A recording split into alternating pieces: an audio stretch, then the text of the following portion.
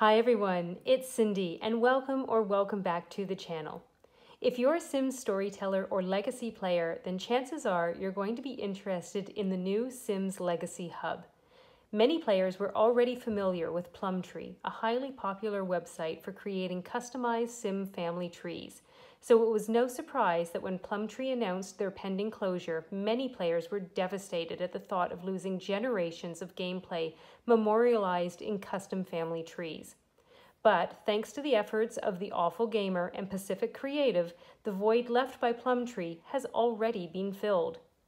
Now, shockingly, despite my having played the same save file since The Sims 4 launched nine years ago, I have never kept a custom family tree something that I sort of now regret. So, having received early access to the Sims Legacy Hub, it felt like a good opportunity to change that while testing out the site in the process. And if, like me, you're also curious, now is a good time to jump on board. Because as of the date of this recording, you'll receive a free seven day trial if you sign up before December 1st, 2023. And from December 1st, the following three price plans will be available. Free, which allows for one tree with up to 300 sims saved to your browser's cache with a shareable link. Pro, at $3 USD, which allows for three trees with up to 400 sims per tree saved to the cloud, plus both a shareable link and shareable tree. And Premium at $4 USD, which is the same as the Pro version but with five trees. Regardless of which plan you use, every sim you add to a tree can include a name, pronouns, photo, a bio with up to 5,000 characters, life stages, which is a list of both species and ages, and occult type, including plant sims and even patchy. As you would expect, the life stages run from newborn to elder, and you can mark if the sim is deceased and if so, the cause of death.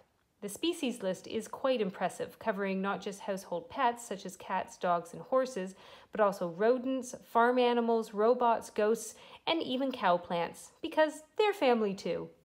Getting started is as easy as clicking the button plus new sim and filling in the details.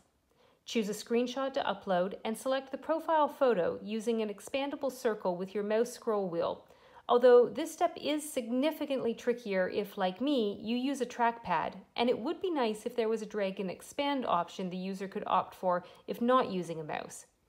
I started by adding a sim from the current generation of one of my largest families and then adding her siblings. Although, in hindsight, I recommend starting with the first generation and working down, as this helps with the overall organization. Once a sim is added, you can edit, view bio, or create a relationship link by hovering over the node icon.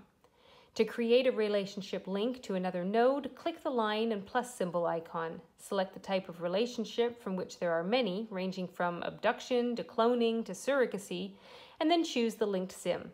Note that a sibling label is not automatically created when you designate a node, even with the same two parents, with the child label, and you will need to add this relationship manually. I'm not sure if this is intentional or if I just haven't fully worked out the intricacies of the system yet. And while there is an extensive list of relationship labels already present, including half sibling, I would like to see step sibling and step parent relationships added, as well as labels to identify sets of twins and triplets. The whole tree design is very drag and drop friendly, and you can freely move and reposition nodes wherever you like. That being said, I did find that once I had a good handful of nodes in my tree, that it was becoming increasingly difficult to click on and select the node I wanted.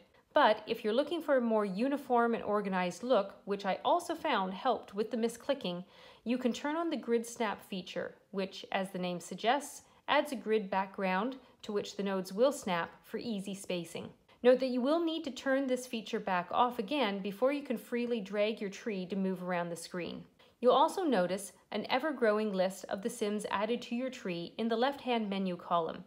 These are handily organized alphabetically, and when clicked on, will center your tree view on the chosen Sims node, allowing you to quickly and easily find any Sim, even in the most extensive and intricate tree. A count of the total number of Sims added to the tree is also found at the bottom of this list. Once you're happy with your tree and want to share it, there are a few different ways to go about this depending on your account type. For free accounts, click the Share button to receive a shareable link.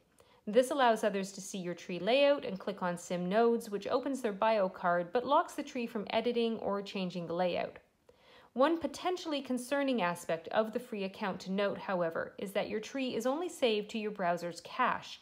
So clearing your cache would effectively erase hours of hard work creating your tree. For Pro and Premium accounts, trees are stored in the cloud, avoiding the risk of deletion, and you can receive both a shareable tree and link.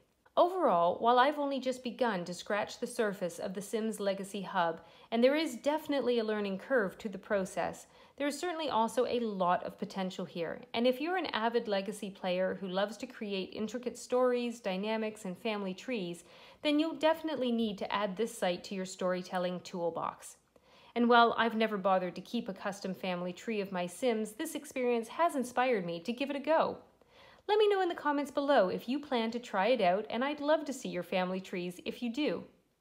That's everything for today. I hope you found this review and tips useful, and if you did, a like is always much appreciated. And if you're new, why not subscribe to the channel and click that bell to be notified of future videos like this one. Thank you so much for watching, and have a lovely day.